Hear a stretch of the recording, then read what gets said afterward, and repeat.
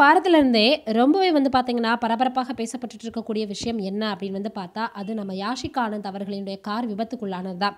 இப்போ வந்து அவங்க டிஸ்சார்ஜ் ஆனதுக்கு அப்புறமாக சில ஊடகங்களுக்கு பேட்டி கொடுத்துருக்குறாங்க அதில் என்ன நடந்ததுன்ற உண்மையை சொல்லியிருக்கிறாங்க. அது என்னன்றத பார்க்கலாம். தன்னுடைய கார் எப்படி விபத்துக்கு உள்ளாச்சு அப்படின்றத குறித்து நடிகை யாஷிகா ஆனந்த் தெரிவிச்சிருக்கிறாங்க.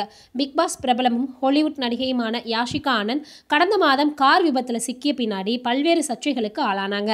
கடந்த ஜூலை 24ஆம் தேதி சென்னை கிழக்கு கடற்கரை சாலையில் அவங்க பயணித்த கார் விபத்துக்கு உள்ளாச்சு. இதில் யாஷிகா ஆனந்த் மற்றும் அவரது இரு ஆண் நண்பர்கள் பலத்த காயமடைந்தாங்க. அவரது தோழியான வள்ளிசெட்டி பவானி உயிரிழந்தாங்க.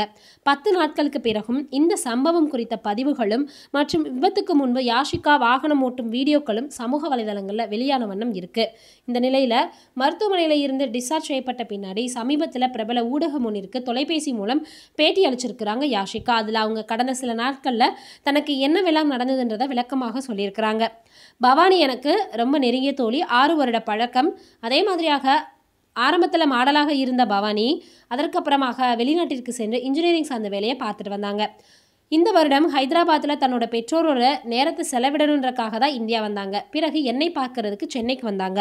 ஜூலை 24 அன்று சனிக்கிழமை நாங்கள் நான்கு பேர் இரவு உணவை சாப்பிடுவதற்காக ஒரு ரிசார்ட்டுக்கு போனோம். 11 மணி அளவில் சாப்பாடெல்லாம் முடிச்சுட்டு என்னோட டாடா கரியரை நான் தான் ஓட்டிட்டு வந்தேன். ஆனால் நிச்சயமாக நான் வேகமாக ஓட்டலை அப்படியே தொடர்ந்து பேசிய யாஷிகா, உண்மையிலேயே அன்னைக்கு சாலை இருட்டாக இருந்துச்சு. துரதிருஷ்டவசமாக நான் காரை சாலையில் நடுவே இருந்த டிவைடர் மீது மோதினேன். மோதிய வேகத்தில் கார் வேகமாக நகர்ந்து பின்னர் மூன்று முறை கவிழ்ந்தது. பவானி எனது நண்பர்களுடன் சேர்ந்து பின் இருக்கையில் அமர்ந்திருந்தார். ஆனால் அவர் சீட் பெல்ட்டை போடலை ஜன்னல் திறந்திருந்தது. விபத்து நடக்கும்போது அவள் திறந்த ஜன்னலில் இருந்து தூக்கி வெளியே வீசப்பட்டு தலையில பலத்த காயம் ஏற்பட்டுருச்சு. எஞ்சியவர்கள் காருக்குள்ளே இருந்தோம். ஆனால் கதவுகள் அடை அடைச்சு தான் இருந்துச்சு. பின்பு நாங்கள் சன்ரூஃபை உடைத்து தான் வெளியே வந்தோம் அப்படின்னு தெரிவிச்சிருக்கிறாங்க.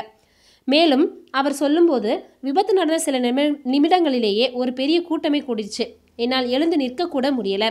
என் உடல் முழுவதும் செயலிழந்தது போல ஒரு உணர்வு. பின்னர் நாங்கள் அனைவரும் மருத்துவமனைக்கு கொண்டு செல்லப்பட்டோம். நான் குணமடைந்த போது தான் பவானி இறந்துவிட்டதாக செய்தி எனக்கு கிடைத்தது. உருக்கமாக இருந்துச்சு.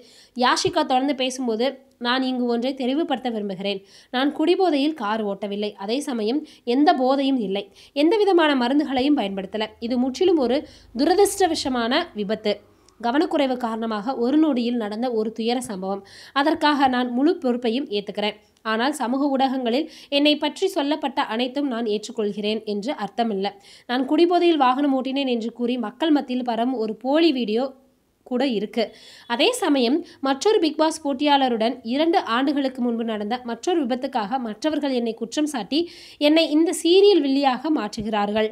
இது சுத்த பைத்தியக்காரத்தனம். நான் சமீபத்தில் மருத்துவமனையில் இருந்து டிஸ்சார்ஜ் செய்யப்பட்டேன். எனக்கு பல எலும்பு முறிவுகள் இருந்தது. அதனால் என்னால் சுமார் ஆறு மாதங்கள் எழுந்து நிற்கவோ, சரியாக நடக்கவோ முடியாது. எனது தையல்களால் என்னால் சரியாக அழ முடியவில்லை. நான் உடல் ரீதியாகவும், மன ரீதியாகவும் குழப்பத்தில் இருக்கேன். இதில் இருந்து எப்படியாவது மீண்டு வர முயற்சிக்கிறேன். நான் பிடிஎஸ்டி ஆலோசனையில் கலந்து கொள்ளப் போகிறேன். எல்லாவற்றையும் விளக்கும் ஒரு வீடியோவை ஆன்லைனில் வெளியிட விரும்புகிறேன். ஆனால் நான் பேசுவதை பதிவு செய்ய முடியவில்லை. இந்த நேரத்தில் என்னால் செய்ய முடிந்ததெல்லாம் பவானியை நினைப்பதும், அவள் இருந்து இருந்தால் எப்படி இருந்திருக்கும் என்று யோசிப்பதும் தான். நான் ஏற்கனவே நடித்த படங்களைத் தவிர இந்த சம்பவத்துக்கு பிறகு நான் நிறைய பட வாய்ப்புகளை இழக்கப் போகிறேன் என்பதை நான் புரிஞ்சுக்கிறேன். நான் மக்களிடையே நிறைய வெறுப்பு மற்றும் துஷ்பிரயோகத்திற்கு ஆளாகியிருக்கேன். ஆனால் அது பவானியின் குடும்பத்தை பாதிக்காதவாறு இருக்க விரும்புகிறேன். இது மிகவும் உணர்ச்சிகரமான நேரம். மேலும் பல வதந்திகளை பல வழிகளில் என்னை புண்படுத்தும் என்பதை அறிவேன். ஆனால் இவையெல்லாம் காலப்போக்கில் மறைந்துவிடும். மேலும் பவானி இரு வானிலிருந்து என்னை பார்த்து ஒரு நாள் மன்னிப்பார் என்று நம்புகிறேன். இவ்வாறு யாஷிகானன் தனது பேட்டியில் கண்ணீர் மல்க சொல்லியிருக்கிறாங்க. ஆக மொத்தத்தில் நான் வந்து டிவைடர் மேலே மோதினதுனால கார் தலைகீழாக கவிழ்ந்ததில் தான் இது துரதிர்ஷ்டவசமாக நடந்திருக்குன்னு சொல்லியிருக்கிறாங்க. உண்மை என்னன்றது அந்த கடவுளுக்கும், அதே மாதிரியாக வந்து அங்கே காரில் உட்கார்ந்தவங்களுக்கு மட்டும்தான் தெரியும். நம்ம சேனலை ஃபஸ்ட் டைம் பார்க்குறவங்களா இருந்தால் சப்ஸ்கிரைப் பண்ணிக்கோங்க. அப்படியே கீழே இருக்கக்கூடிய பெல் ஐக்கான் சிம்பிளை கிளிக் பண்ணி மறக்காம நோட்டிஃபிகேஷன் எனேபிள் பண்ணிக்கோங்க. அப்போ தான் நம்ம சேனலில் போடக்கூடிய அடுத்தடுத்த வீடியோக்கள் உங்களை வந்து சேர்ந்துக்கிட்டே இருக்கும்.